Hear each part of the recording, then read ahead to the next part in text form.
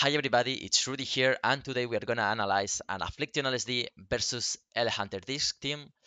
Um, it's a complicated matchup because I think it's one of the teams that can kill your pet the fastest, and they can have a lot of tools to to do an infinite CC on your summon, like Scatter, Trap, covering with the roots, uh, Fear him. So uh, you re rely on RNG Dispel. They have a lot of CC on him. They can force this situation of three versus two, and they can tunnel the pets. So I think it's their main win condition is to tunnel the pets uh, with this strategy. But they can also do like the scatter uh, and clean and clean one target on the scatter, and then go do like all, all in when they have the the instant of the summon and everything. So they have that these two win conditions and I said, Affliction LSD, what you want is to, okay, survive the open, get some pressure going, and you really want to play versus a priest, the mana game. If he's going offensive, a lot of purge, okay, it's gonna be hard. Spam fear, get some pressure, and eventually with the CC you have, with the rotation of the the the trinkets, the hex, the clones, the fears, you will be able to to get the situations with some pressure the, and play the mana game really. Ah, also, you have a lot of CC as commented. So you have the, the space to resume on pets because as we commented, okay, one of their main win condition is kill pets. Okay, get a, get some distance with the port, and when you are able to get some some CC on them, some slow, some roots, you can port back and, and resume on. Okay, it's really important to don't waste your Feldom if you can resume on back because they can kill the pets really, really, really easy. Okay, so uh, your win conditions. First, the mana game, and second, uh, you have a lot of CC, uh, a lot of CC. Uh, if you rotate their trinkets for because they are doing pressure, they, they use offensive trinkets. You can really force a, a three versus one situations, and you can push down uh, one of the targets.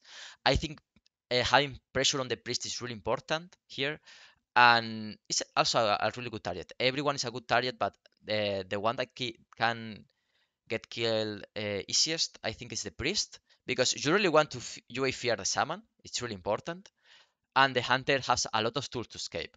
So I, I would say the, uh, if you're boosting down someone, is is is the priest. Okay. Uh, uh, well, you can get a situation when the priest is really far away from the summon and you can fear him. Then the summon is really, really, really good. But the main target, the, the one that has uh, the the less options to survive and tools, defensive tools, is the priest. Okay, so Joy Fear on the summon is really good without Tremor, and Hex on Clone on the Hunter it's super useful in that situation. Okay, let's go into the game. Let's analyze it.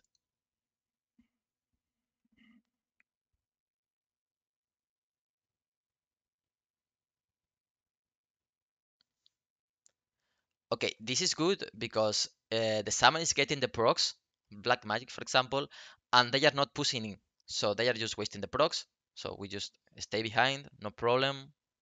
Now they are pushing in, scatter on the summon, uh, full trap, they, they are covering, so no, no point on trying to dispel that. Uh, I just port away, uh, no pressure on me. But this is maybe a mistake because, okay, uh, I port away, the summon is in the middle, they just full clean the summon and they are gonna do all, all in on him. So uh, the summon needs to to see the situation, start spamming Hodge on him, even they are spamming full reports the priest. And and I really need to go in and spam fear, try to peel, also him to to do a good growing and so on, and try to come back to the pillar. Also in these situations, um, it's really important to to put the, the pet close to your druid, you need to insta dispel the silence shot. It's the only CC I think they can do on the druid. So that two, three globals on the druid, it's really, really key, okay, for surviving this go. Also, look here, uh, the, the Vipers are booked and there's aggro on the druid, so you really need to kill them because they are applying a poison on your druid that is reducing the, the, the cast time like a lot. So it's really helpful if you can avoid that on your on your druid. Curse on, on the on the summon, okay, to, to peel. He's able to grow the, the instant. This is really, really, really good. Druid is forced to, to an S. Now it's a good moment to get dot on everyone because they are on the middle and get some pressure. Okay, they, they need to back up. Um, we are able to put the the bloodlust, so it's time to go uh, offensive. I think uh, Priest is a good target, so we are going to him. Uh, they do a really good um, snake trap. Okay, the howl um, can affect um, a maximum, I think, uh, five, six entities. So um, and and it's targeting the closest to you. So in the moment they put a snake trap and and you are the one activating it, it's uh, easy to to like uh, avoid your howl. So he did a really good play, putting the snake trap there. And they are going on the pets as as we commented is their main win condition, and it's easy to kill them.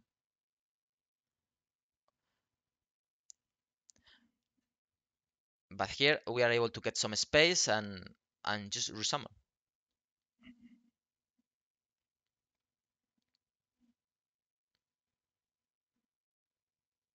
Trying to dot everyone, get some pressure, avoid uh, the CC.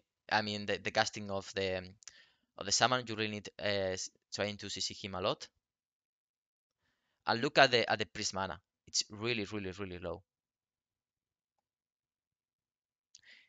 he will he will need to to use pet soon. Uh, Hunter trinketed it in an offensive way. This is really good because they didn't trinket for for me to to stop because someone could uh, trinket the clone and try to to stop my, my pet, but they, they just trinketed to try to to boost the second pet down. So this is really good. They didn't use the trinket to stop the the casting, but just to try to to make pressure on him. So this is really good for us this trinket from, from Homer.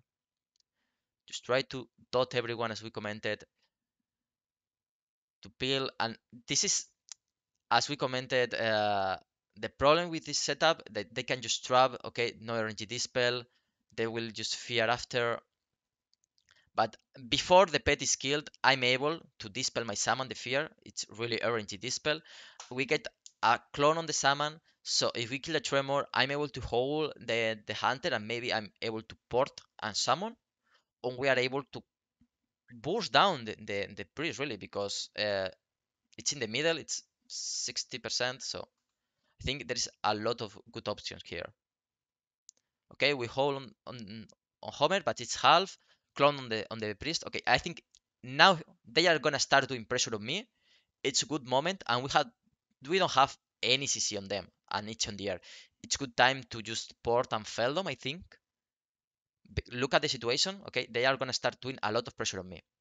Just uh, port Feldom and put the pet behind because it's the Feldom you really want to play really defensive that pet. Okay, okay. Okay. Now look at the situations. They have no tremor. Uh, we have Hex back. And Priest is still in the middle as we commented and it's low mana, low low life. Okay, uh, we are able to get the fear and the UA on the summon. This is really really good. And if we can get a clone or hex on the on Homer, we will be 3 versus 1 versus a priest that it's low life in the middle of the map. This is really good. As we commented, it's like one of our win conditions. Okay, we get the double CC, coil into bus into CS. We, we are able to push them down. Okay, so the key points, uh, as we see in, in this game, is get some space from from your port to, to be able to resummon. Uh, always try your RNG dispel, but it's really important to, to keep your dispel if you can for the silent shot on your druid when they are boosting down and just play defensive, play the mana game, and really try your pets to survive. If they kill your both pets, uh, it's GG for you.